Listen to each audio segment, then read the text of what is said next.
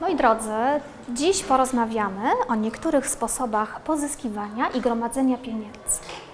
Po to, aby kupić e, jakąś potrzebną rzecz albo spełnić marzenia.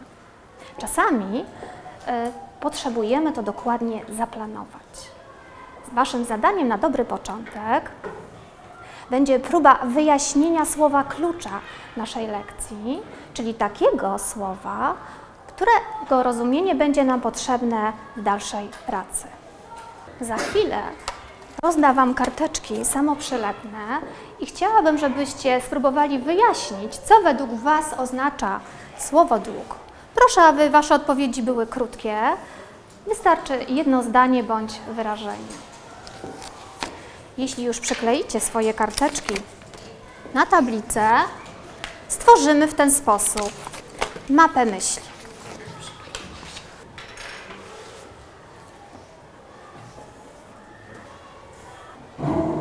Zapraszam Zosiu. Proszę bardzo.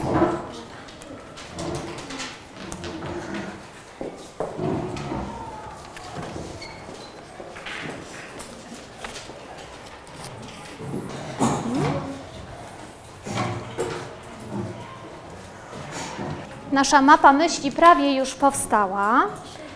Jeszcze kilka. Starczy, kochanie. Mamy dużo propozycji. Za chwilę odczytamy naszą mapę myśli. Widzę, że każdy z Was coś miał do powiedzenia na temat naszego słowa kluczowego.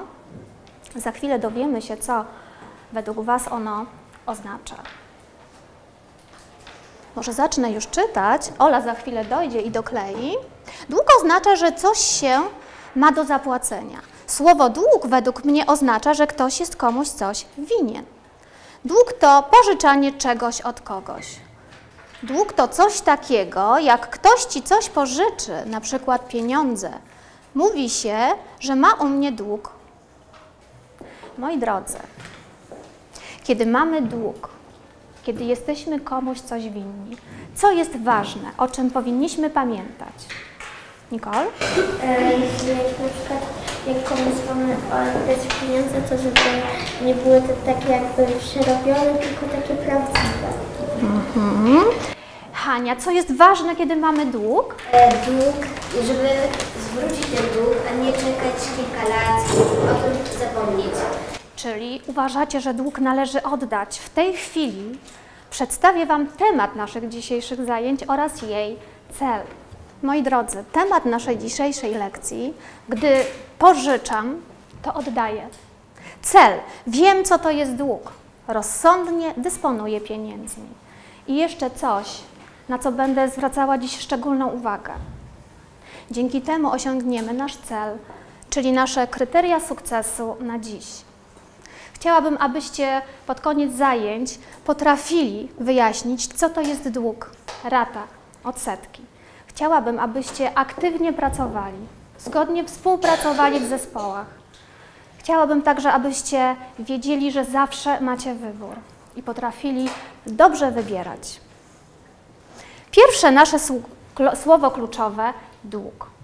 Kiedy pożyczamy pieniądze z banku, to mamy dług.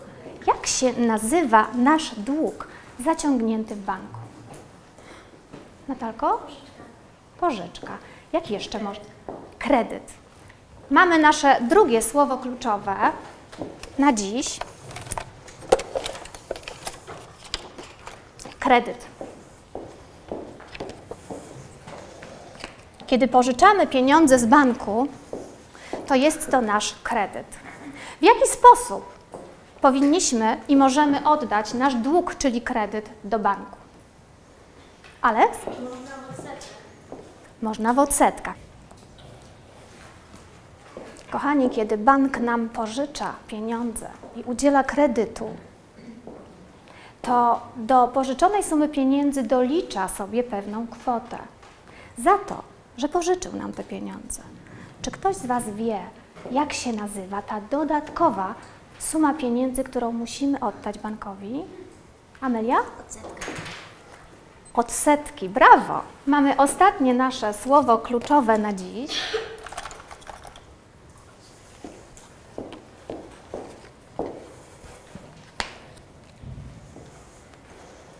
Rozdam Wam teraz białe koperty, w których znajdują się papierowe pieniądze. Chciałabym, abyście współpracowali w parach. Jedna osoba z pary pożyczy 50 zł w jednym banknocie od drugiej. Oddajemy swój dług w co najmniej dwóch banknotach, a pozostała kwota według Waszego uznania. Potem zamienimy się rolami. Leon, podawaj spokojnie kopertę do tyłu. Do jednej. Mhm. Tak, e, podajemy do tyłu, po jednej kopercie na ławkę.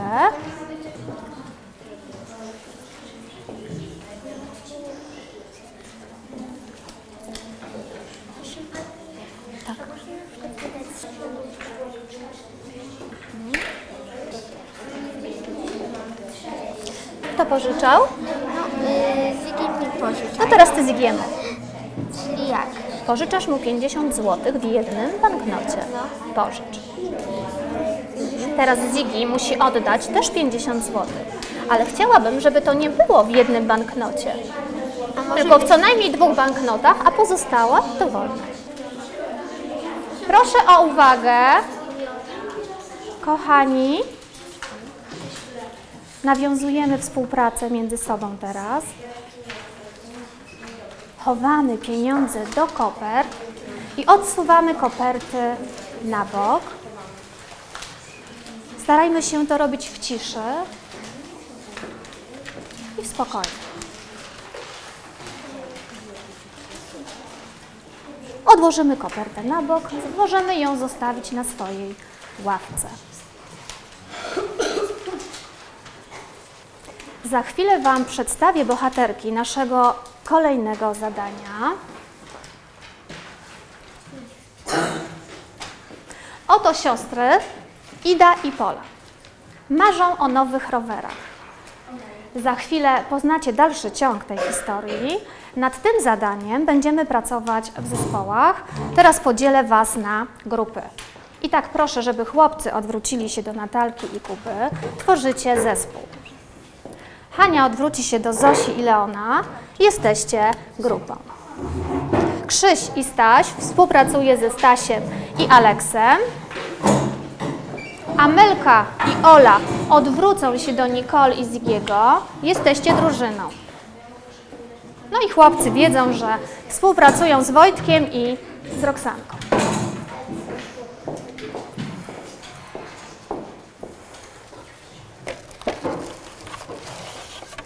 Za chwilę dostaniecie białe koszulki. Są w nich kartki A4 w kolorze białym i znajduje się na nich treść Waszego zadania. Rozdam teraz koszulkę na grupę i proszę, abyście wyjęli tylko białe kartki A4. Proszę. Drużyno. Za chwilę odczytam głośno treść naszego zadania, a potem będziecie już wspólnie nad nim pracować. Każdy ma swoją kartkę. Uwaga, czytam zadanie. Wyjmujemy tylko białe kartki, Alek. Tylko białe. Resztę chowamy. Czytam treść zadania. Marzenie Idy i Poli. Siostry Ida i Pola marzą o nowych rowerach. Jeden rower kosztuje 500 zł. Dziewczynki postanowiły wspólnie oszczędzać pieniądze, by spełnić swoje marzenia. Uzbierały już w błękitnej szkatułce 370 zł. Każda z dziewczynek dostaje co miesiąc kieszonkowe w wysokości 35 zł. Oblicz, ile miesięcy oszczędzałyby dziewczynki, gdyby obie wkładały do szkatułki całe swoje kieszonkowe. Zaczynamy współpracę w zespołach. Proszę o spokojną, aktywną pracę.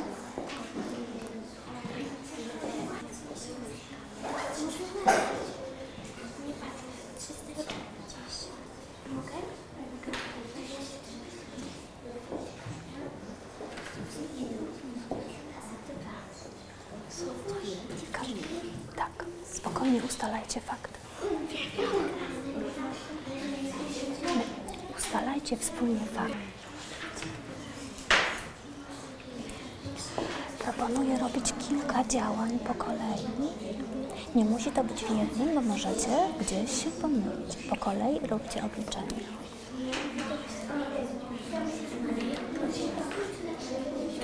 Róbcie oddzielnie. Widzę, że niektóre grupy już osiągnęły swój cel. Niektóre są już bardzo blisko. Ważne jest, aby starać, starać się iść w zadaniu krok po kroku, pozyskiwać po kolei potrzebne informacje. Mhm. Grupy, które po kolei otrzymywały potrzebne informacje, już osiągnęły swój cel.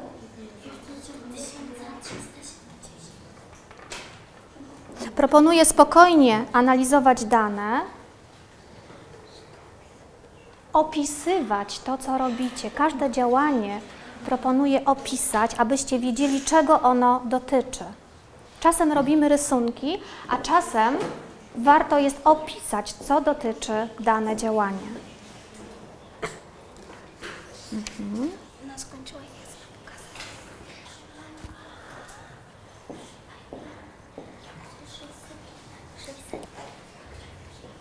Teraz będę prosiła poszczególne drużyny, aby podeszły razem. Cała drużyna, zapraszam do mnie ze swoją kartą i z rozwiązaniem zadania.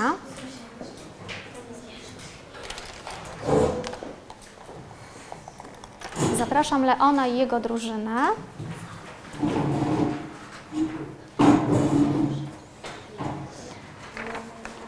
Jest rozwiązanie Waszego zadania. Wystarczy jedna karta, dobrze? Wasza wspólna.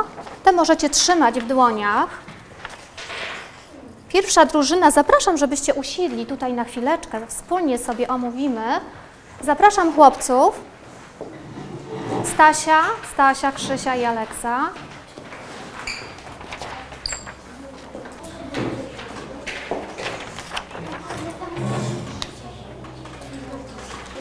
Omówimy sobie, zobaczysz, czy byłeś na dobrym tropie. Współpracujemy razem w grupach, w zespołach. Widzę, że e, Wasze odpowiedzi są podobne. Ustaliliście, że dziewczynki oszczędzały 9 miesięcy. Grupa pierwsza, druga i trzecia dały taką odpowiedź. Grupa Natalki miała inny sposób na swoje obliczenia, ale również udało im się. Ile miesięcy według Was oszczędzały dziewczynki? 9. Natalka zrobiła to innym sposobem. Każdy sposób jest dobry, żeby rozwiązać zadanie. Cieszę się, że współpracowaliście i osiągnęliście efekt. Aby dojść do takiej odpowiedzi, po drodze musieliście przeanalizować wiele sytuacji i wykonać kilka działań. Dzięki Waszej uwadze udało Wam się to. Chciałabym, abyście pamiętali, że ważna jest uwaga podczas pracy i przemieszczanie się po zadaniu krok po kroku.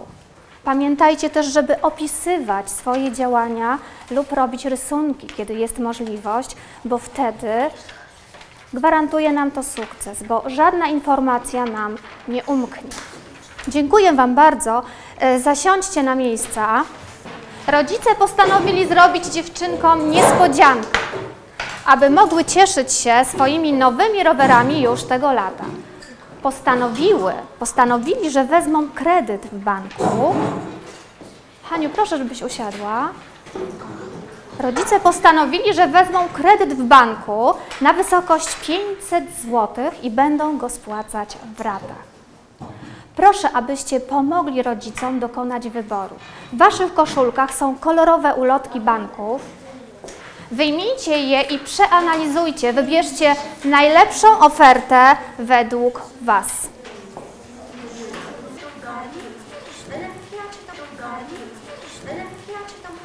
Proszę, abyście potem w wyborze byli jednogłośni, bo pracujecie w zespołach. Wszystkie grupy skończyły? Jesteście zdecydowani?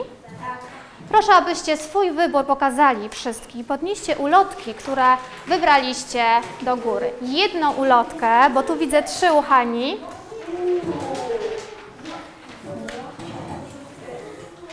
Widzę, że Wasze wybory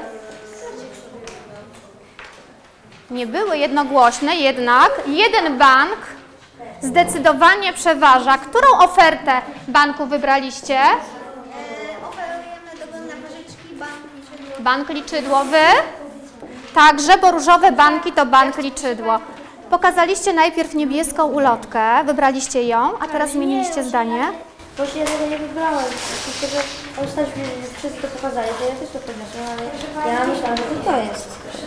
Czyli od początku byłeś przekonany, że różowa, tak, że bank liczydło, ale troszkę zwiódł Was jeszcze Na bank. początku jak nie zrozumiałam tego, to wybrałam to, potem... Dobrze, to teraz w takim razie proszę Was, proszę o uzasadnienie swojej oferty. Zlaczego wybrałeś tę ofertę? Dlatego, bo w tej spełnianiu marzenia tu jest o, do, y, o, do jak się 50 zł pożyczy, to dolicza się 6 zł, i, ale wtedy to jakby się na te 100 zł to by było już 12 zł, więc to już u nas nie wchodziło y, w takie w grę. A, czyli dokładnie przeanalizowaliście ofertę. Mhm. Moi drodzy, dziękuję Wam za wnikliwość. Chciałabym, abyśmy podsumowali sobie teraz, teraz naszą lekcję. Przypomnijmy, jakie pojęcia związane z bankami dzisiaj sobie utrwalaliśmy lub też poznaliśmy. Odwróćmy się w moją stronę, abyśmy już mieli ze sobą kontakt i mogli podsumować zajęcia. Nicole, jakie pojęcia poznaliśmy dziś związane z... Rata, Co to jest kredyt? Pamiętasz? że wtedy od kogoś pożyczasz. Skąd pożyczasz? Skąd można wziąć kredyt? Albo od kogoś, albo z banku. Hania, jakie pojęcie jeszcze pamiętasz? Rady. Czym jest rata? Rady to jakby oddajemy nasz dług, ale w pewnych ilościach. Jakie jeszcze pojęcie pamiętamy z dzisiejszej lekcji związane z bankiem? Kto jeszcze pamięta kolejne nasze słowo kluczowe? Amelko? Odsetki. Czym są odsetki? Setki to są, e, to są e, pieniądze, które się dodaje do, e, które tak jakby trzeba dopłacić. Dopłacić do kredytu. Moi drodzy, co jest ważne, kiedy od kogoś coś pożyczamy? Ola. Żeby wiedzieć, że będziemy mogli to oddać. Brawo. Dziękuję. A chciałabym Was jeszcze zapytać, jak Wam się współpracowało w zespołach? Aleks. Hania. Czekamy na swoją kolej. W drugiej, w pierwszej klasie zaczęliśmy wtedy pracować w grupach, to e, pani pamiętam, że każdy stolik miał rękę do góry i pani do wszystkich podchodziła po kolei i nikt, e, nikt nie robił sami, nie zrozumieliśmy, e, dużo rzeczy nie Dobra.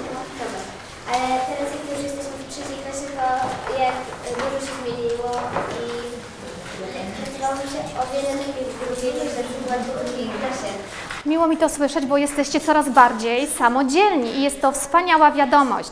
Moi drodzy, Leon jeszcze. Maciek mówił, że on pracuje sam w grupie. No, to jest trudna sztuka pracowania w grupie i dlatego ćwiczymy to i staramy się nauczyć, bo jest to cenna umiejętność. Moi drodzy, jeżeli dobrze Wam się dzisiaj współpracowało, jeżeli z zaciekawieniem rozwiązywaliście zadania, chciałabym, abyście wpłacili do wpłatomatu swój uśmiech na nasze wspólne konto satysfakcji satysfakcji. Swój uśmiech. Wpłacamy dziś swój uśmiech na nasze wspólne konto satysfakcji. Ja bardzo Wam dziękuję za współpracę, dziękuję Wam za aktywność i dziękuję Wam za wnikliwość i swój uśmiech na to konto dziś wpłacam. Jest to nasze wspólne konto. Za chwilę rozdam Wam znów kolorowe karteczki. One są samoprzylepne.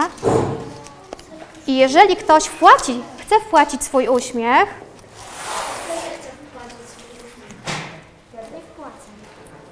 to bardzo proszę, rozdajemy sobie gwiazdki, proszę.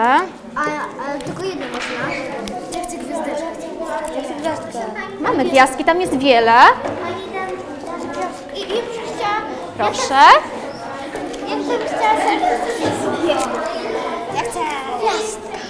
Gwiazdka.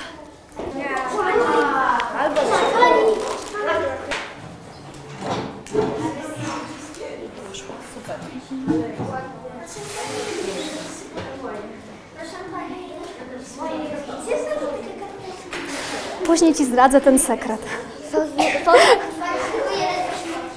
Płać ile zechcesz. Jakie dostałeś piękne podziękowanie od tej Hania po No prostu. najlepsze podziękowanie, jak Ale, ale pokazała, że rzeczywiście tak się dzieje, że No. pracują. No.